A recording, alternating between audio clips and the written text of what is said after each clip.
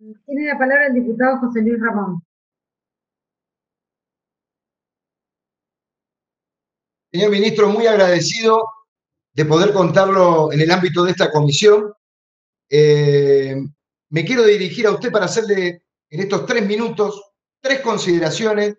La primera de ellas no es del todo amable, porque que los bancos pretendan cobrar un interés del 43% más sus gastos, un interés anual del 70%, y que los tres meses de gracia que le facilita el Banco Central sean un beneficio para los trabajadores, eso, en lo que a mí respecta, con todo el respeto, señor ministro, es una barbaridad.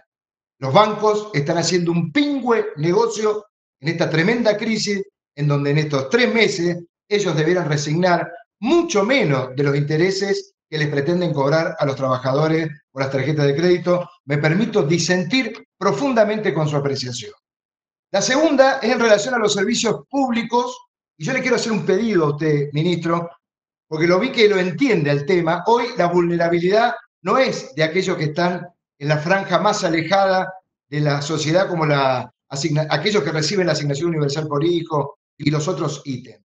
Hoy necesitamos que los trabajadores de la Argentina, que están haciendo el esfuerzo solidario más grande, tengan la posibilidad de que en este tiempo que dure el aislamiento social obligatorio, con esa voluntad de solidaridad de los trabajadores, las empresas de gas, de electricidad, de conectividad, de educación y de salud privada o pública y de las obras sociales tengan una limitación en los cobros que pretenden. Como está resuelto, no está resuelto en función de, de las familias trabajadoras. El tercer punto, mire, ministro, nosotros, usted sabe que provengo de la provincia de Mendoza. Mendoza hoy es tierra de nadie para los reclamos de los trabajadores y del sector de los gremios que defienden a los trabajadores.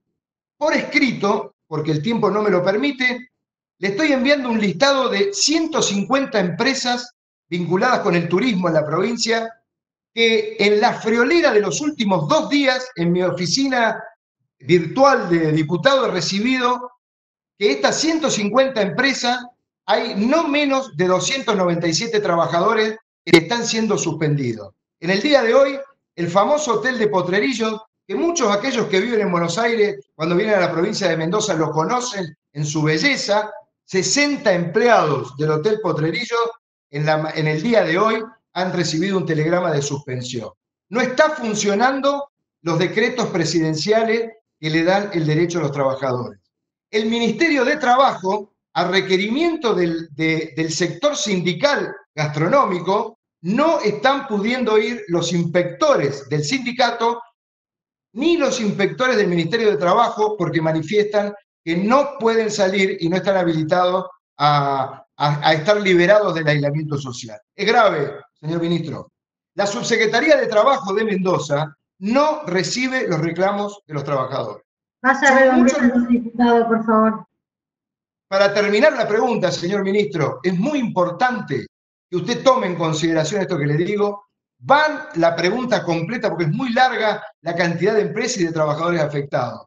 Es necesario que el Ministerio de Trabajo de la Nación, con la delegación de Mendoza, empiece a hacer el trabajo que como ministerio tiene que hacer para salir a controlar el incumplimiento total y el abandono de los trabajadores en nuestra provincia de Mendoza. Gracias por venir a nuestra comisión, señor ministro, y gracias, señora presidenta, por dejarme participar en la comisión.